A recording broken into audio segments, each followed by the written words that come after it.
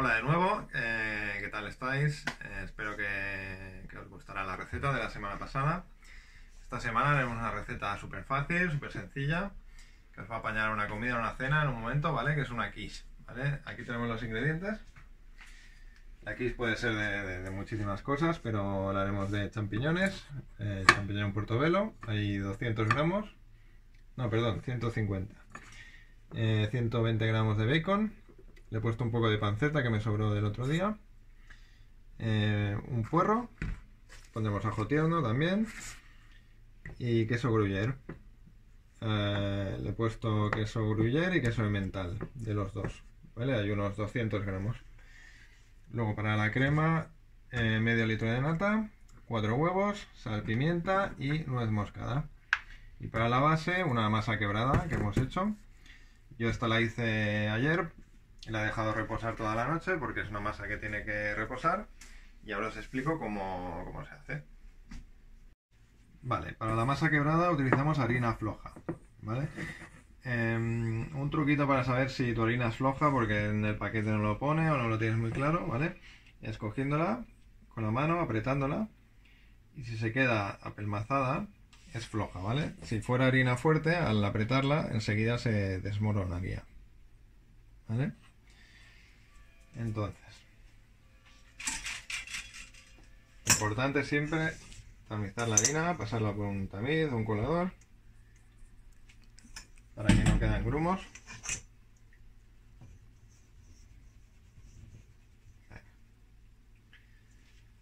Perfecto. Hacemos un agujerito en medio y ponemos la mantequilla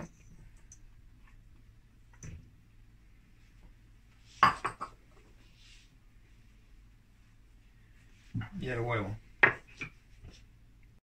Vale, el huevo es importante eh, no romperlo aquí en el borde del bol, porque la salmonela está en la cáscara y si rompemos se mete para adentro y es peligroso y, y también nos puede caer dentro de la masa.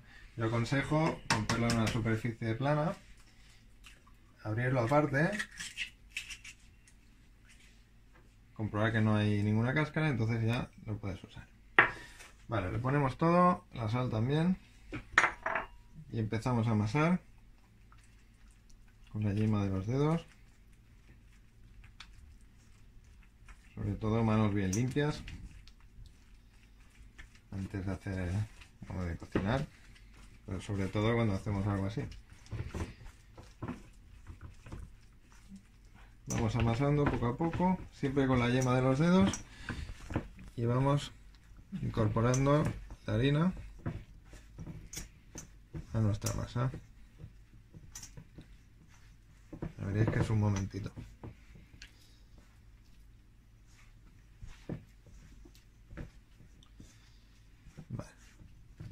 Hemos usado harina floja, ¿vale? Que es la que se suele utilizar para, para este tipo de masas. La harina de fuerza eh, se utiliza más pues, para masas fermentadas, de larga fermentación, para panes. ¿Vale? Esto de harina floja, harina fuerte, no es más que la tasa de, de extracción de harina que se le saca al, al trigo. Cuanta más extracción, más fuerza tiene.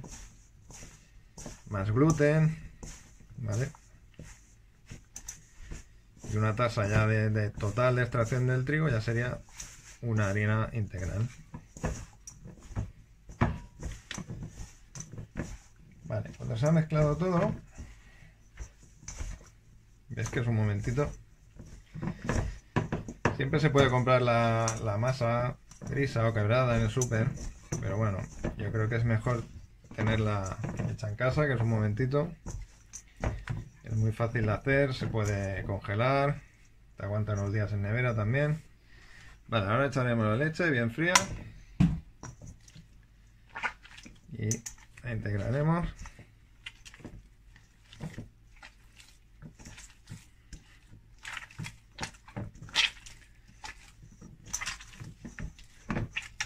Y ahora que tenemos tiempo, pues no hay excusa para no hacer una, una masa quebrada.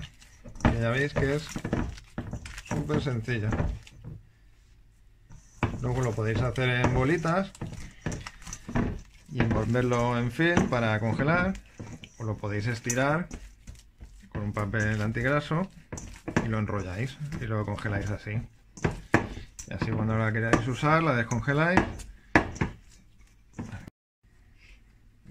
Bueno, una vez se ha integrado todo bien, ¿vale? Ya tenemos la, la bolita de masa. Cortamos un trocito de, film. Y la podemos guardar así, ¿vale? Tiene que reposar mínimo, mínimo una hora en nevera, ¿vale? Pero si está más, pues mejor. Vamos a preparar la masa, ¿vale? Tenemos aquí un molde redondo. Y lo primero que haremos será, con un poco de mantequilla, untar el molde.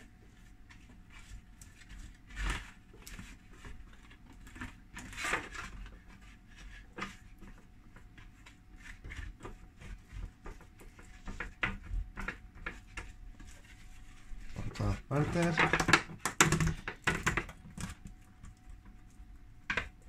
Vale. Cuando está todo untado,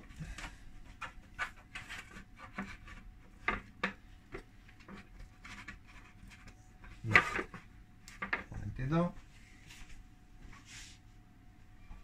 Cogemos un poco de harina, de harina.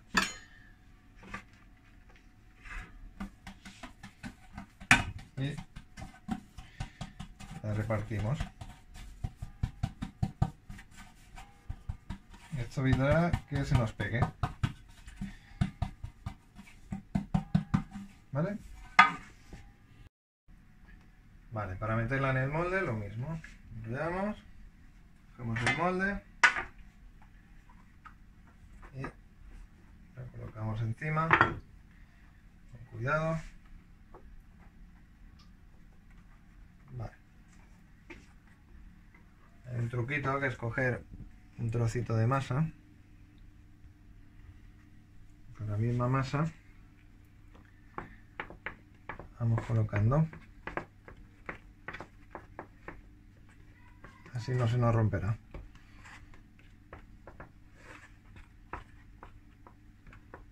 Tampoco.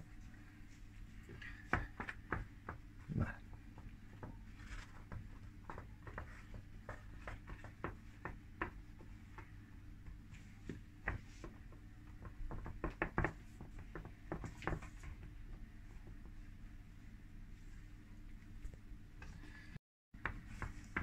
Vale, una vez está bien acoplada, cogemos el ro- el rodillo, pasamos por arriba y la masa ya se corta. Retiramos el exceso. Esto nos puede servir perfectamente para otras ocasiones, se puede congelar y, y se utiliza sin problemas. Ahora lo que haremos será pincharla un poco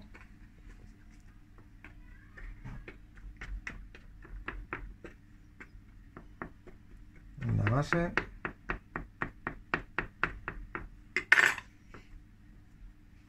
juntamos bien a la pared.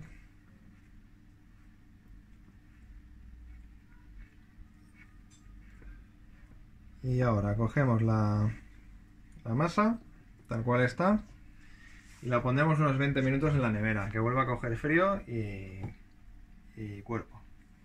Vale, ya hemos enfriado la masa Ahora lo que haremos será precocinarla. Para ello necesitamos un papel de horno. Os explico un truquito. Doblas por la mitad, luego por la mitad otra vez. Y es un triángulo. Luego pones la punta en el centro de la masa, calculas más o menos y haces un corte. Así quitamos el exceso de papel y nos queda en forma redonda. Lo colocamos. Nosotros aquí en casa tenemos unos garbanzos que utilizamos para esto. si le ponemos peso. Son garbanzos que los puedes reutilizar tantas veces como quieras. Luego evidentemente ya no valdrán para cocinar. Puedes utilizar cualquier legumbre seca, algo que haga peso. Lo acoplamos bien. Hemos precalentado el horno a 200 grados. Lo bajamos un poquito a 190 o así. Calor arriba y abajo y lo cocinaremos unos 15 minutos. Mientras se va cocinando la masa vamos a ir preparando la, la verdurita. Empezamos por el puerro. El puerro le quitamos lo verde. Cortamos por aquí. Quitamos la primera hoja. Y para lavarlo haremos un corte en cruz. ¿Veis que por dentro tiene tierra? Pues vamos al grifo, agua fría. Y así lo podemos lavar muy bien.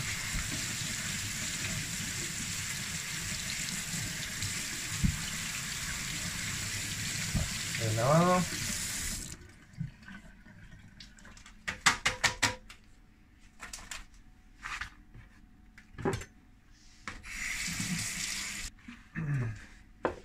Y el corte, si hay un poco de verde no pasa nada. También está bueno. Hacemos cortes así de un centímetro más o menos. Le llegamos aquí.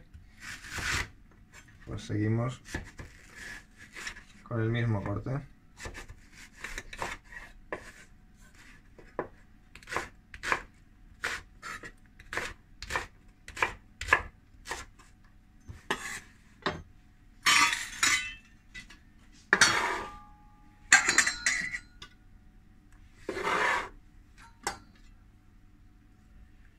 El champiñón. Lo ideal es pelarlo, porque si tiene alguna suciedad, tierra, lo que sea, pues así la quitamos. desde aquí, con los mismos dedos, vamos quitando. Se quita sola la piel, muy bien. La piel no hace falta que la tiréis, si, si hacéis caldo o algo lo podéis echar y le dará buen sabor. Bueno, una vez pelados los cortaremos. Láminas finitas.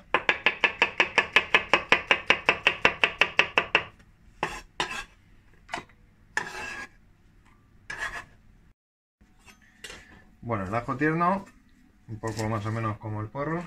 Cortamos aquí, cortamos aquí. Pelamos un poco. Yo estoy usando ajo tierno porque es lo que tengo, pero podéis ponerle lo que queráis. Aquí se puede hacer con, miles de cosas. Cualquier verdura, calabacín, espinacas, eh, cualquier tipo de queso, pescado, atún, langostinos, muchísimas cosas. Eh, es importante por eso que siempre que hagáis una quiche, lo que pongáis dentro esté previamente cocinado o salteado, ¿vale? Porque la temperatura que coge la crema al hornearse no será suficiente para cocinar eh, lo que pongáis. Para que lo entendáis es como si quisiéramos hacer una tortilla de patatas y le pusiéramos la patata cruda. Hay que cocinarla antes. El, el relleno, lo primero que haremos será el bacon, la panceta, lo ponemos en una cazuela sin aceite, caliente y que el bacon vaya sudando. Va soltando su propia grasa y no hará falta añadirle, más.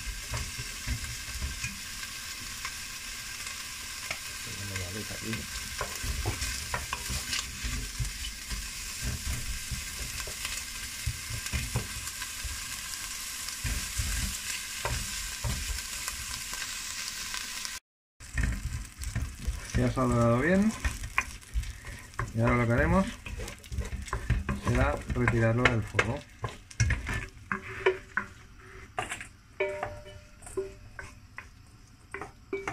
y esta grasita que ha soltado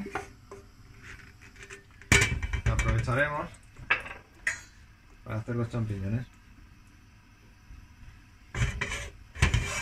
Si coge bien el sabor. Fuego bien fuerte. Un poco de sal.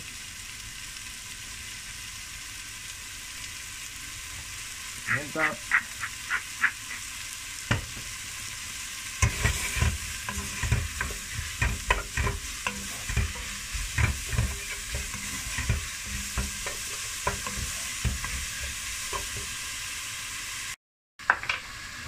ya están cocinados y también lo vamos a retirar.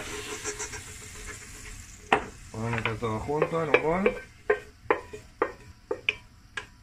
Y ahora en la misma cazuela bajamos el fuego, pondremos un poquito de mantequilla.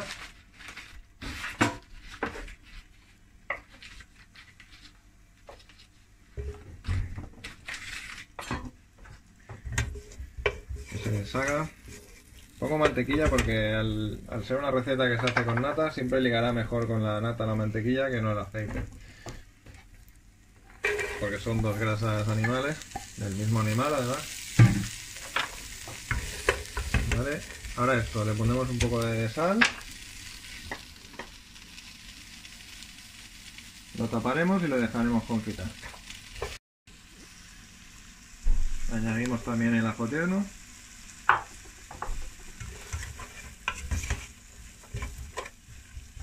Y que vaya haciendo. Y mientras vamos a preparar la crema, he roto aquí cuatro huevos. Los batimos un poco.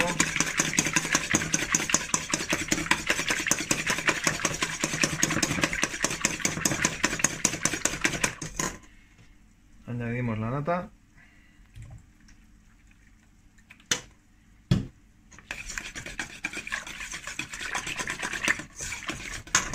Sal.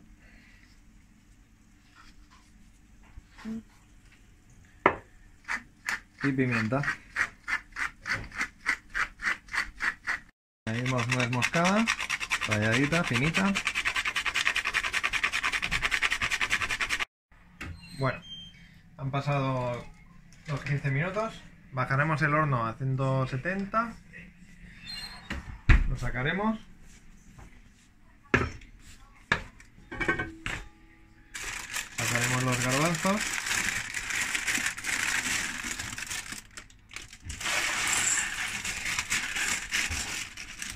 y la volveremos a meter eh, sin los garbanzos para que se cocine un poquito por encima.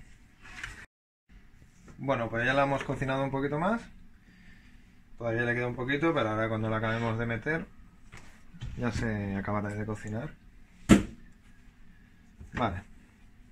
Cogemos el relleno y lo colocamos en la base. Bien repartido.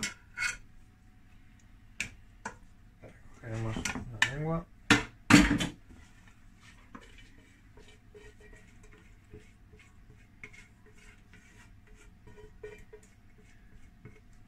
Vale. Lo repartimos bien.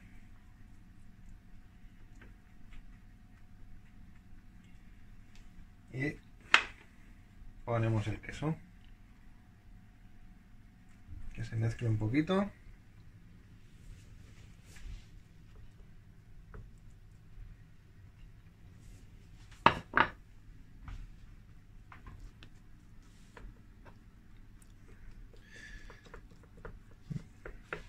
Ahí es importante que se mezcle un poco.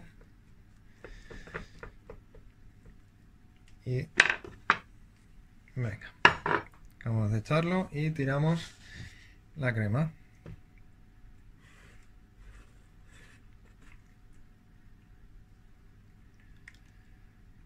Vale. Vale, la cantidad que hemos hecho nos ha llegado justo para, para este molde. Movemos un poquito, que se incorpore todo. Y volvemos al horno. Lo dejaremos unos 20 minutos a 170 grados. Bueno, ya hemos sacado la X del horno, al final ha estado un poquito más de tiempo, una media hora eh, al calor arriba y abajo, con aire, 170 grados. Veis que se ha cocinado todo bien. Y, nada, con esto y una buena ensaladita, pues tenéis una, una comida completa estupenda. Pues nada, que aproveche y nos vemos la semana que viene.